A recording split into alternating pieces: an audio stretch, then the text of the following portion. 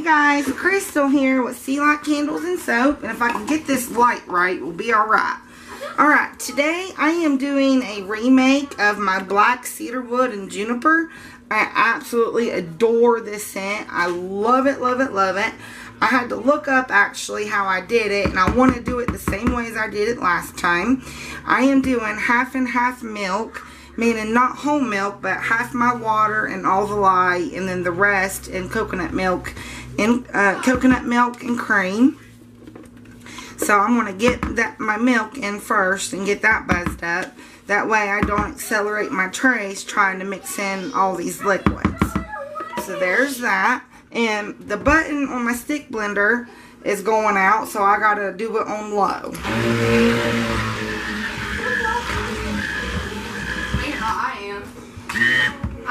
The high works if you push real hard.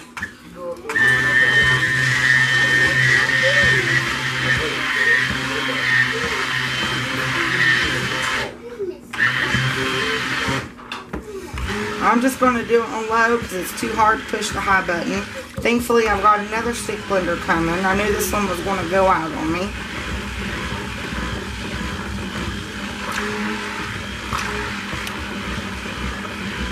Alright, that looks good and mixed.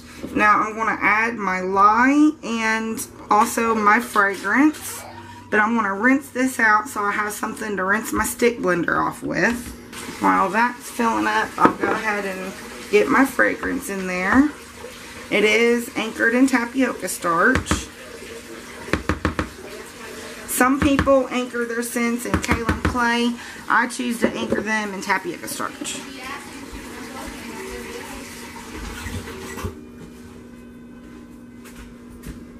Alright, so let's get this mixed up.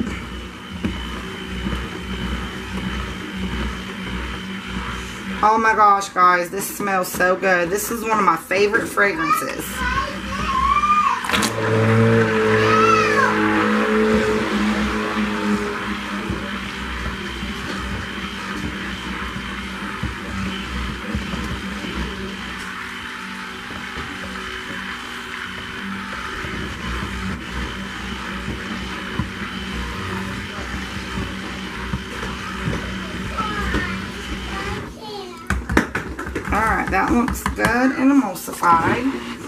Do need to weigh some of these out though.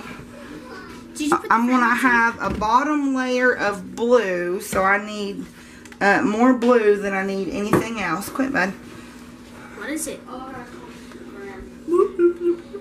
Yep, change that over to, there we go. Draven, you're moving my table, son. Tell the crowd what I did today. And I'm so proud of my son. He got first place in accelerated reader. Reading fast. And it's not just reading fast, it's accelerated reader. I'm super excited for him. And last It makes year, me really happy and proud of him. last year he got in third place, and I'm in third, and I'm going to get a trophy here soon. No, first place. uh, Third place. Last year he did get third place, but this year he got first place. First. Yes, bro. First grade, I got third place. Okay, so there is my colors. This is going to be white. I got 90. And I want to try something that one of my followers suggested that I do. She suggested that I whisk in my colors instead of using my stick blender. I'm still going to use my stick blender, but I am going to try whisking them in. There's my white, and I know my white needs to be mixed in. So got 90 whoa. points.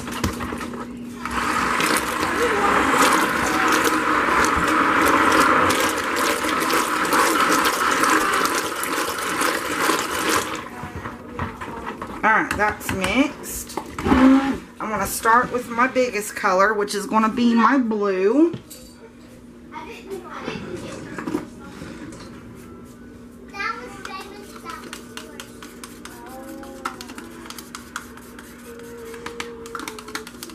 Trying to get all this color out as I can.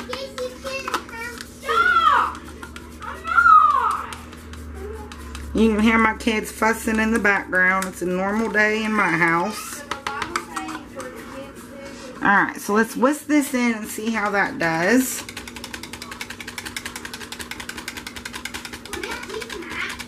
So far, so good.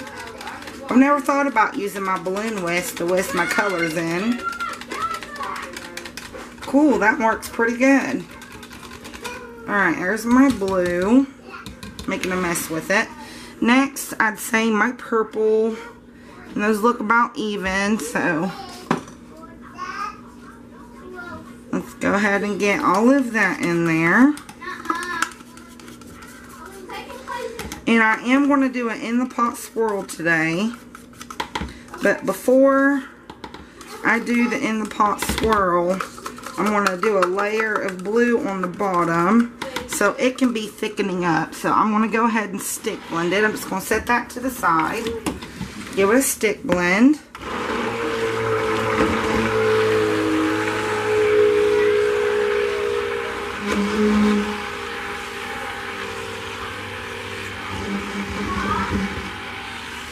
It's on low, so it's going to stick blend kind of slow.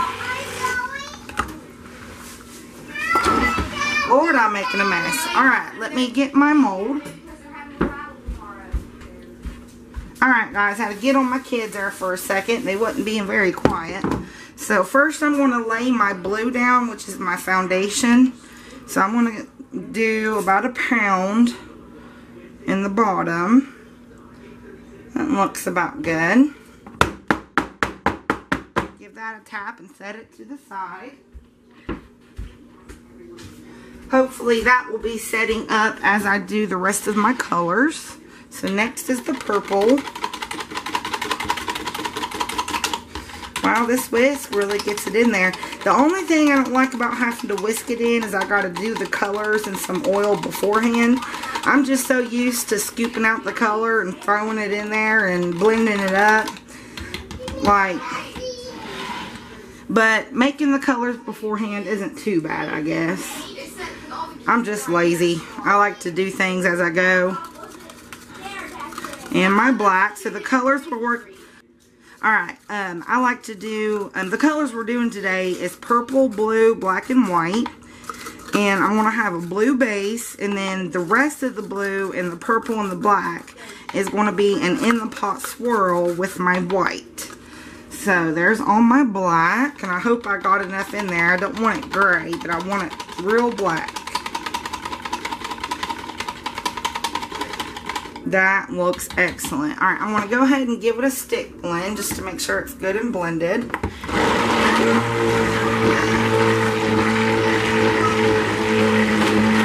This smells so amazing, you guys.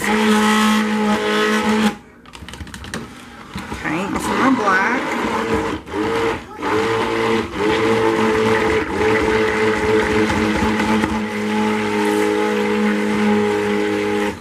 I love the way this soap turned out the first time I did it. So I'm definitely excited about doing it again. So let me knock down all the white that's around here. To mix it up a little bit. Alright, in with my purple first, and I'm going to do with my left hand so you can see what I'm doing. I'm going to pour from high up. I'm going to go there, there, and there, and then whatever's left, leave that for the top. Now in with my black, and I want to go my black right beside my purple. So there, and there, and there and leave the rest for the top. Now for the blue, and I wanted to go in the corners. I didn't pour anything in with my blue. Go there. There. Alright, leave the rest for the top. So what I'm going to do is I'm just going to go around once or twice. There's once, twice. Alright. I don't want to mix it up too much. Now let me get my mold. It's not set up a lot, but hopefully I can get this poured without breaking through. So let me get this up here. Can you guys see? Yeah, you can see. Alright, so I'm going to lay my spatula down. I'm going to kind of pour over my spatula. Try to go easy. This is Bradley.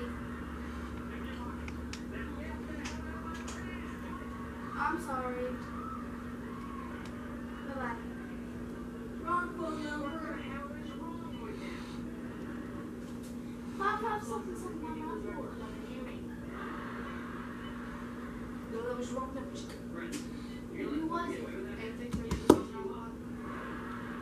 Yeah, that's, that's Billy's.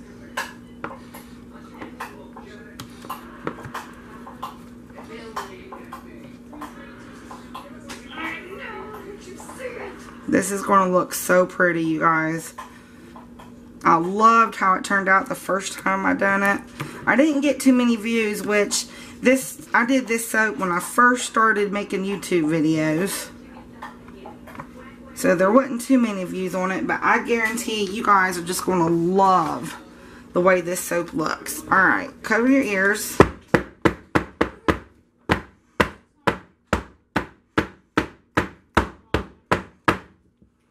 Alright. Let me see. Let me get a paper towel, go down my edges here.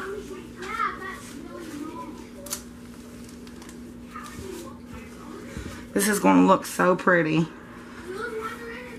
Alright, so I'm just going to splatter some color everywhere. And I want my purple to be on top. So I'm going to start with the blue.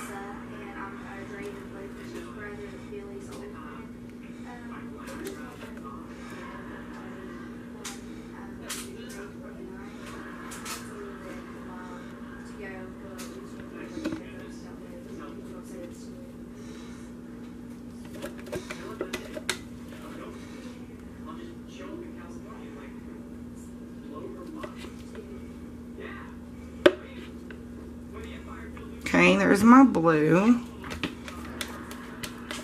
Now for my black.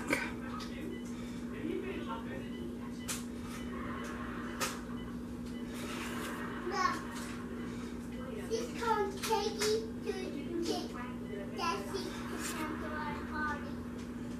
I didn't. Oh, your your party is for your party. Your party. Why did you come be quiet, please? Let's get trouble. Alright, there's my black. Now for my blue. I really, I'm not blue, but purple. I really like the purple up against the black. I think it looks really pretty.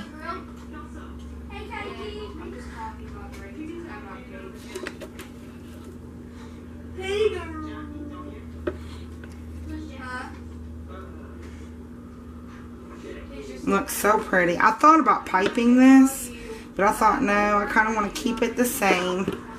The same like I had it the first time I done it. I absolutely loved it the first time I done it. So I know I'm going to love it this time. I did it the exact same way. And this is one of my all-time favorite scents to work with. It's lovely in candles. And it's absolutely a dream to work with in soaps. It doesn't accelerate. It doesn't rice. So now I'll swirl the top.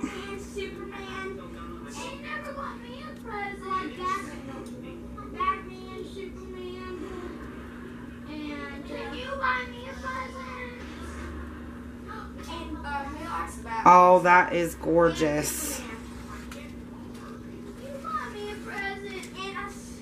And I'm not going to put any glitter on it because I want this to be like a unisex kind of soap. So let me show you. Look how pretty that is. Isn't that gorgeous? I love it. And it is going to turn out amazing. Alright guys, so that was Black Cedar Wood and Juniper. So stay tuned for the cut everybody. Guys, Crystal here. And we are here to cut our black uh, cedar wood and juniper. That's what it looks like from the side. And look how pretty the top is with all the swirls.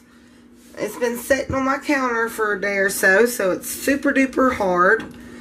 I've been excited to cut into this one. I absolutely adore this fragrance that I used.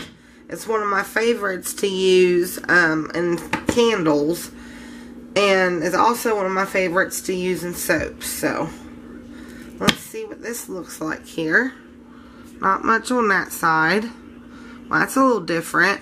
We did a, a in the pot swirl with um, the black and the purple and the blue.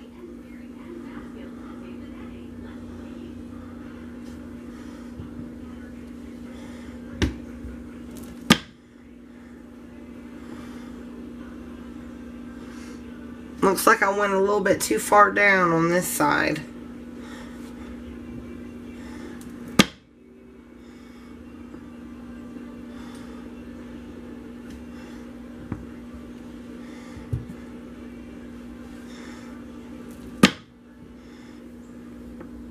It's supposed to be blue down here on the bottom. But it looks like as I was pouring it in, it went down a little bit too far.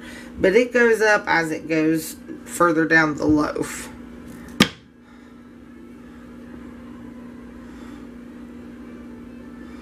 Kind of looks like a when you put your finger inside of a water and it ripples and it's got those pretty colors to it. That's kind of what it looks like. That's what it reminds me of anyway. Yeah, it reminds me of the ripples of water.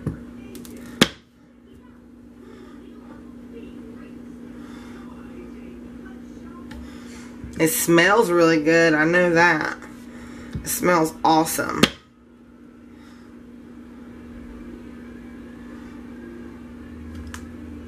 And they're good and hard.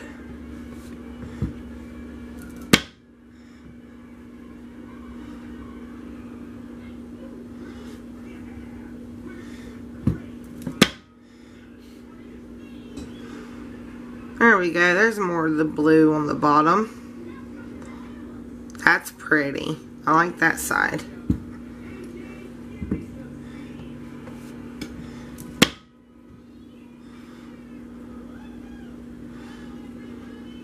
So as we get further down, it is doing actually what I meant for it to do, which is have the blue on the bottom and just the ripple of the um, in the pot swirl on the top. Last piece.